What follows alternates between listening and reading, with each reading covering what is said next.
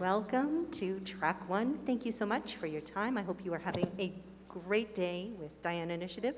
So, before we get started, I'll just do a couple quick announcements. I'll invite you to visit our excellent fun villages. There's lockpicking down that way. There's the maker and soldering village just off the reg desk up, up at the front. And I want to say thank you to our sponsors who have helped make this happen, some of whom are Microsoft, Toyota, Verizon, Synack, and they're all out there. They have wonderful tables to go visit, say hi, see them for a few minutes on your way as you're walking up and down the halls to catch talks or do other things in our networking lounge further down, make friends, meet people. And without any further ado, I want to introduce you to Ryan Rutan and Emily Peacock, who are going to be talking to us today about building diverse communities. And I will hand this over now to Ryan. Thank you. Thank you so much, Cheryl. All right. So for all of you here, and for, whoa, hello. so for all of you here, and for those uh, attending virtually, thank you for stopping by. Today we're going to talk to you about red teaming um, the cybersecurity diversity problem.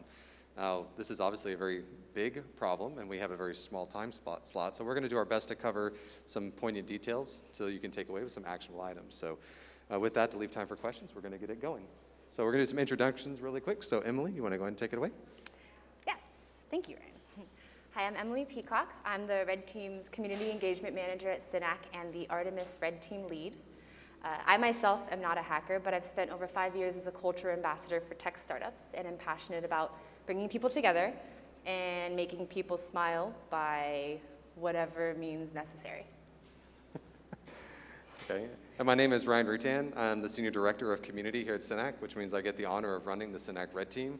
A little bit about myself. I am a lifelong hacker, programmer, um, nerd, geek, uh, community evangelist, and author. And so for me, what that means is I've got to spend my career bringing people together, talking about technology, advancing it, and doing really cool stuff. So doing over the last four years in cybersecurity has been a true pleasure for me. Uh, so why are we here? Um, the goal here is to try to take actionable offensive steps to try to address um, the diversity problem. And this, to give you some context, wanted to take a little bit of a back step to show you kind of how we kind of became, came into this solution or came into this initiative. Um, so we go back to early 20 or to mid 2020, and uh, we saw this report that came out from Cybersecurity Ventures, and it showed that in 2021, that women were projected to have at least 25% of the global of the roles in the, the global uh, cybersecurity market. And so that was something that really caught our eye, considering that in 2013 this number was at 10%, and just two years prior it was uh, 20%. So this was giving us this idea that there was this, for lack of a better term, this wave of women that were coming into cybersecurity, and we were like, this was really exciting for us for a couple of reasons. The big piece was that at the time we were actually in the process of trying to figure out a way to have a more intentional program for recruiting women into the red team. So when we saw this report, we were like, okay, we're just going to sit back, we're going to just let this wave hit us, and we're going to be ready to take it all in. Pandemic continues. Um, we didn't see this wave come in, and so we were like, well, what's going on? And so we started doing some research, and like, maybe the pandemic is causing some external factor that we weren't aware of. Um, and as we dug in, we actually ran into this other report from, uh, we ran into this other report from Tessian, which talked about the opportunity in cybersecurity. And it said that 49% of all women that were surveyed felt that the pandemic had a positive impact to their career in cybersecurity, which perked my ears a bit because you don't hear pandemic and positive impact in the same sentence very often. And then secondly, it was exactly opposite of what we were thinking. You know, what was this obstacle that we were looking for like a negative and yet we saw a positive? Uh, we were fortunate enough to attend ShmooCon back in March, where we attended a Making Space initiative event, where there was a panel of women cybersecurity professionals. And having this report in the back pocket, I actually asked them, I was like, hey, you know, here's this report, here's this stat, what is your personal take on this? And they all affirmed to the same that this was true. They felt that um, the pandemic actually did improve their careers. And the things that they cited were along the lines of that it got rid of the middleman. It got rid of this notion of being able to hide and ultimately uh, got rid of the office politics. And it helped focus everyone on the merit based achievement, which these women excelled in mightily. So we're like, all right, well, we've got this report we, we had these positive things, but again, the question still stood, you know, where are all the women at? So this kind of brings us to our Artemis story. Um, you know, so when I talk about the origin for Artemis, what's really important is to realize kind of the envelope that it exists in. So the Synack Red Team is a crowdsourced uh, community of security researchers, right? And it's a very diverse one. Like we recruit the most trusted, the most skilled, the most diverse community out there. And it's predominantly diversity is the number one criteria for us because it's the best way that we can provide the best customer value. You know, like our job is to provide the best representation of malicious attackers, no matter where they come from. And as a result of that, we need to make sure that we're hiring a very, or bringing in diverse talent so that we can bring in all those unique perspectives. So as we talked about it, you know, we noticed that we weren't seeing this massive uptake, right? And so we were doing all the different strategies and things of like we were going and promoting in women's groups, we were doing online CTFs, we were doing conferences, you know, we were even doing like white glove outreach. And while each of them had a success that was going on, we did not necessarily see this, this uptick. So it started turning the conversation is like what's wrong with them becoming to what's wrong with us. And so we started looking introspectively and we said, okay, let's go ask people. So we started talking to a bunch of women, we talked to gender minorities, and we said, hey, what, what is going on? Like, what makes, you know, why aren't you interested in this? What could we do to make it better? And what's interesting in those conversations, they actually led to not only the basis by which we would ultimately, you know, go towards solving our women recruitment problems, but also it would become the foundation for what we would eventually call the Artemis Red Team. And so what we're going to share today is kind of like a distillation of all those conversations and themes that hopefully you can take with you to your communities of influence and potentially replicate similar successes with the tools that you might have. So the first thing is community, and this is by far the most important thing that you can invest in. If there's one aspect of trying to bring people together is creating a very strong community, and it's the thing that's going to pay the most dividends. Um, we have a good community. It's, uh, it's fun, it's supportive, it's quirky, but at the end of the day, it could always be better. And so the first thing that we thought or noticed that was really interesting from the feedback was this notion of having a safe and supportive space um, for, for women um, to be able to ask questions, share ideas, and not have judgment. And ultimately, we found that there was a lot of imposter syndrome, a lot of like, you know, need to be perfect that was kind of preventing people from doing this. And regardless of why it was happening, this was something that we felt was you know, a very important problem to solve. And so from our perspective, we did create a very exclusive channel for the Artemis people to, uh, to collaborate with each other. And it's, it literally is only for Artemis people. I'm actually not even in it. I don't allow myself to be in that channel because I want it to be a holistically pure, safe space. So there's really, it's Artemis and Artemis only. The second piece that we saw was around isolation.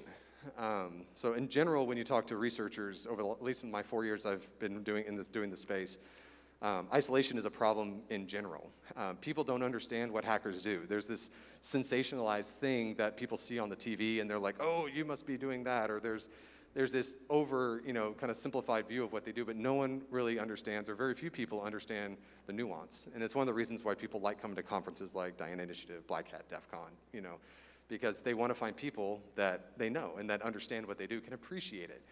But a lot of the isolation uh, that we, conversations we had were partly that, but there was actually a very interesting one for me was the notion that a lot of the women we talked to were the only woman in their organization and in their role. So how can you grow as an employee or as a, a security researcher if you don't have someone that understands your domain is that you can bounce ideas off of that you feel comfortable doing, right? And that's a very isolating experience. So for us, building a community that is around connection and making sure that people realize that there's a way to reach out and a way to find connections with people. And so for us, that's the most important thing that you can do from a community setup perspective is to make it very clear that uh, when you join a community, that make it clear on how you connect with one another. And this is something that Synack Red Team and the Artemis, this is a 365, 24-7 kind of a mission that we have related with the connection part is how you connect, and this is where the culture comes in, and also where I think diversity plays the biggest role. Um, when you build a culture that is inclusive and is actually about around people connecting to one another, it's redundant and more efficient to have a multifaceted connection layer. You don't want people all connecting over, oh, I studied for OSCP, right? You want to have people be able to connect on things that are very um, core to their personal being. And so when you have diverse pe people from diverse backgrounds, you have more opportunities for people to connect in different ways, and it grows those synapses that connect people in the community. And the one thing I would also argue is that you don't have to focus on professional traits. Like, you know, I would argue someone coming into a community right off the bat they would have just as strong a connection uh, connecting with someone that's into horticulture or cars or the show Firefly. Just saying. Um, than if you were to say, oh, let's connect over, we like SQLi or we like RCE or some like custom like, you know, specific type of exploit. Like both are strong connections, but one of them is more innate and is more long lasting, and that diversity gives you more cross sections at that point.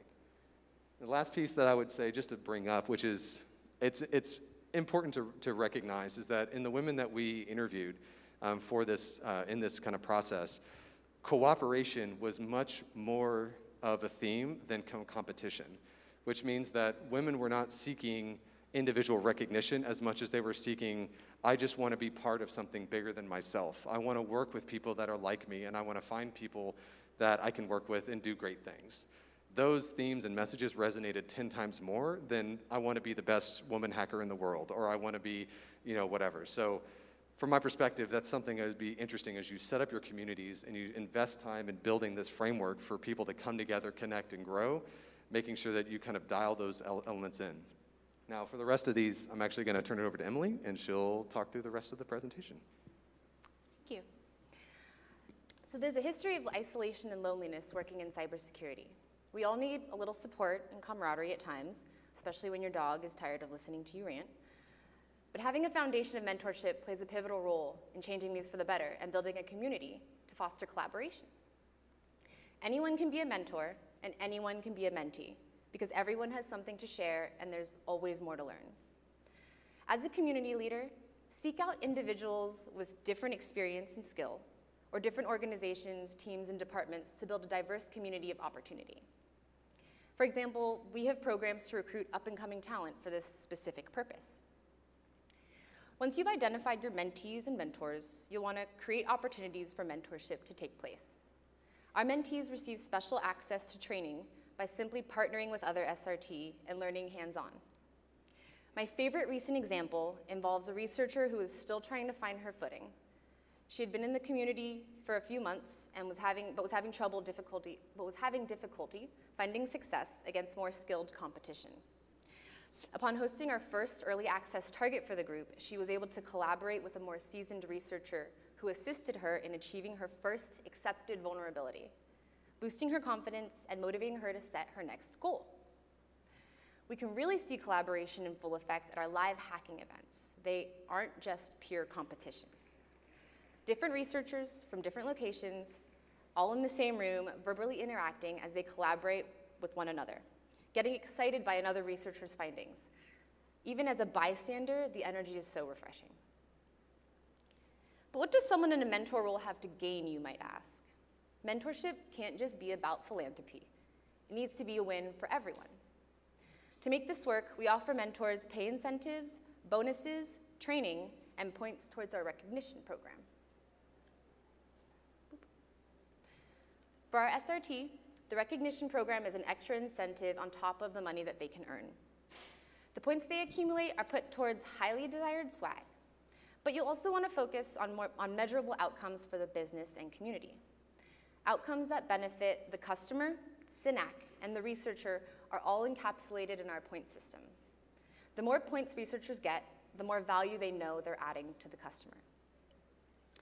You might ask, but Emily, how do I come up with the right incentives? It is absolutely essential to get to know your community. What is it that motivates them the most? Is it enabling players to tap into activities and opportunities that they truly enjoy or are passionate about? Is it the desire to learn and grow?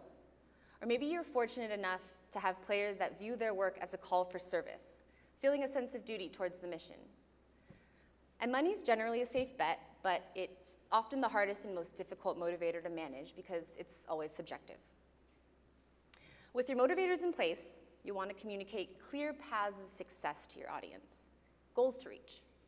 With Artemis, for example, we set up a rewards program with different levels each level comes with its own set of ART swag from t-shirts, water bottles, duffel bags, to our highest current level prize, where the researchers connected with a seamstress who creates a custom design with the researcher and then embroiders that design on the back of a jean jacket, equipped with an Artemis patch, kind of like that.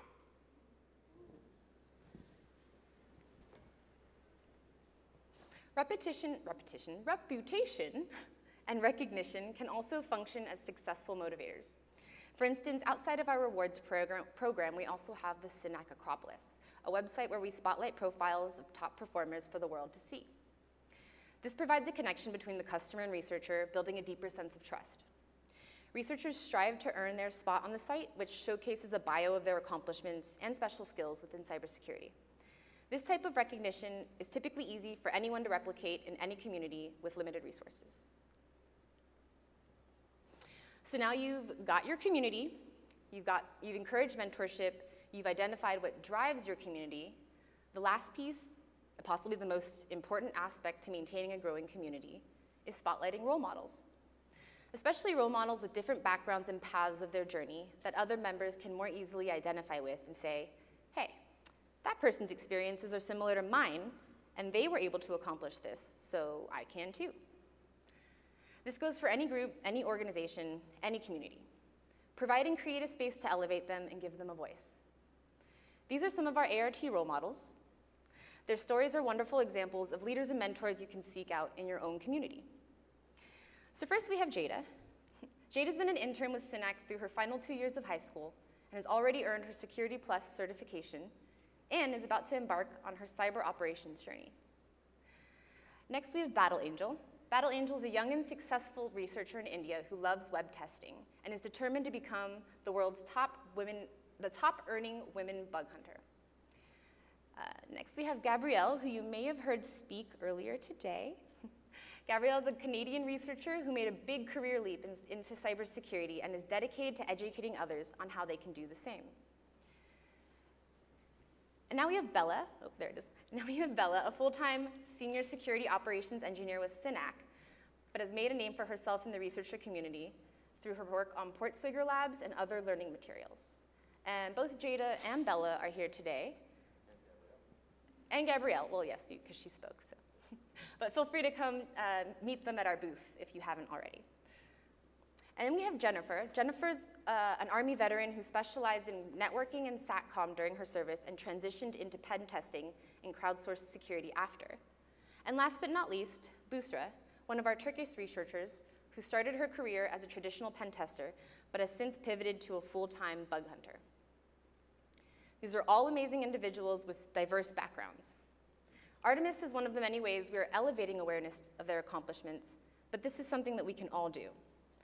Elevating awareness of role models is the single biggest thing that any one of us can do to support the women around us, or any underrepresented group for that matter. Why?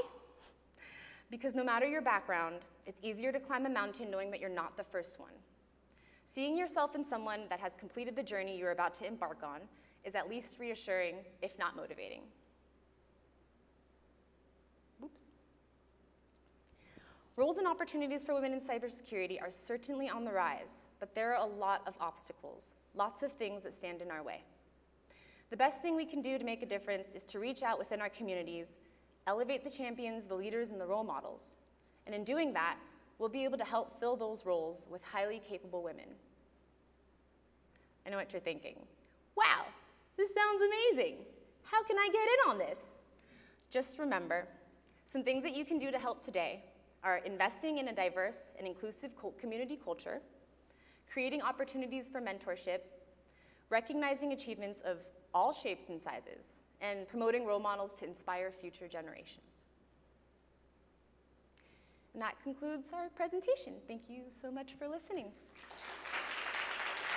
We'll also take any questions if you have them.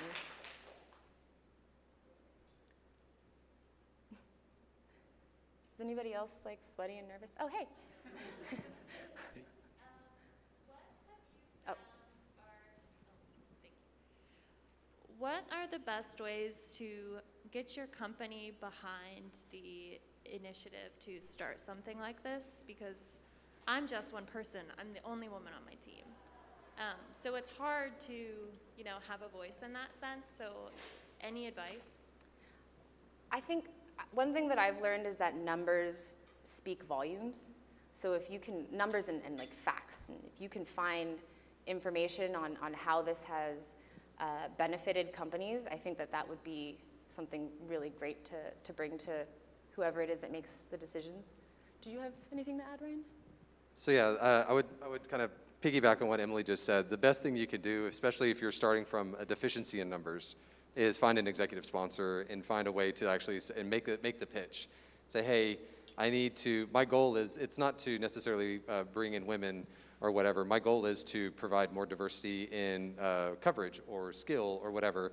And the tactic to do that is to bring in more women because there's obviously not that many, if not any here. And so that's a, it points to, a- you can then use that narrative to point to the research that shows, you know, this is what you, you know, the, what is needed to kind of make the composition of, of whatever group you're trying to build out um, more important. And then the biggest thing is to start small, finding ways to bring in women mentors, uh, women speakers, uh, educators like that, and then work with HR. If it's an internal position, work with them to prioritize, um, you know, promoting that as, as, a, as a, not a requirement, but as a, as an ideal. It's like, look, we're trying to bring in uh, diversity, and, and if you can get it, get a couple of people in, and you just keep that story narrative, you just keep increasing the ask every time. Look, see, we brought people in.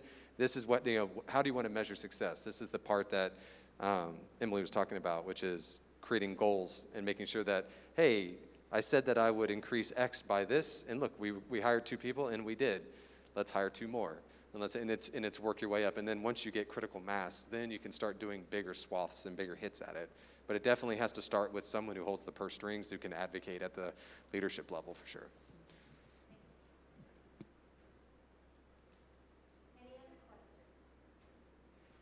We'll also be here tomorrow, so if questions pop up, you can always come find us at our booth.